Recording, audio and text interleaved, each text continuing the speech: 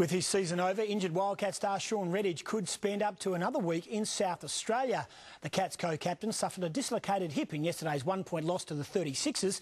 He is currently lying flat on his back in an Adelaide hospital.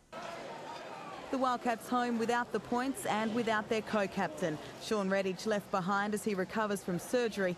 The devastated skipper to remain in Adelaide for up to a week after surgeons discovered his injury was worse than first thought.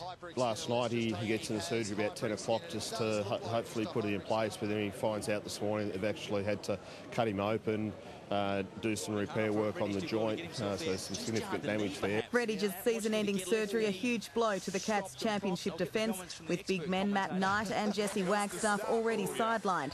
Wagstaff is at least two weeks away with an ankle injury, while Knight's calf will take even longer. A longer deal for American import Andre Brown, a possible solution for the Cats. We've got, had a lot of adversity already with injuries to Matty and Jesse, and now uh, our captain and, and, best players out. Uh, we know how tough it's going to be. Perth hang on to second spot on the NBL ladder despite going down to Adelaide in yesterday's one-point thriller. Ballinger, can he make the